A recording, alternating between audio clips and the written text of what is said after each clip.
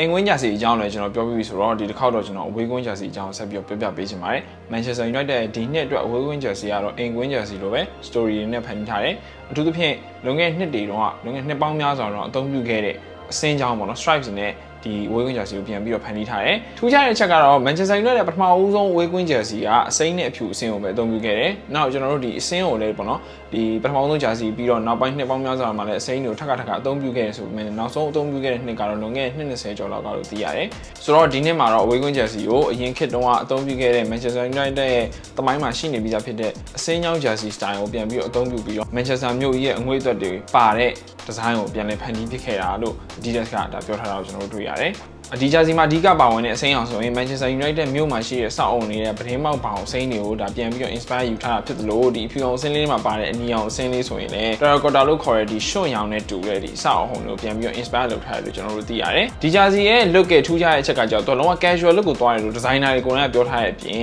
ဒီ jersey ကိုစပြီးတော့မိတ်ဆက်ပြီးတော့ဒီ marketing တွေမှာဆိုရင်လည်းပေါ့နော်ကစားသမားတွေကိုယ်တိုင်လည်းလုံးဝ casual look တွေနဲ့လုံးဝဘောလုံးအားကစားဝတ်စုံတွေမဝယ်ဖက်နဲ့ဒီအင်ဂျီ jersey နဲ့အောက်ကဒီဘောင်းမီမျိုးမျိုးအာ design မျိုးမျိုးနဲ့ဒါ styling တွေလုပ်ပြီးတော့ဒါဝတ်တာတွေလည်းကြောင်ညာထားတော့ကျွန်တော်တို့တွေ့ရတယ်ဒီဘောလုံးနဲ့ fashion နဲ့တွဲဝတ်တဲ့လူတွေဆို collar ပဲပါတဲ့ vintage ကိုသဘောကျကြတယ်ဆိုပေမဲ့ဒီ jersey က